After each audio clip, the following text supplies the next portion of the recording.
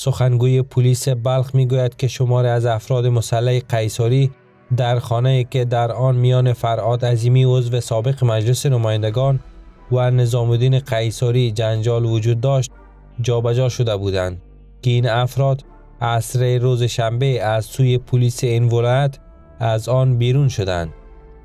محمد اسحاق رهگذر سخنگوی پلیس بلخ می‌گوید برای جلوگیری از درگیری میان افراد فرهاد عظیمی و قیصاری آنان افراد قیصاری را از این خانه بیرون کرده و نزد خود قیصاری فرستادند.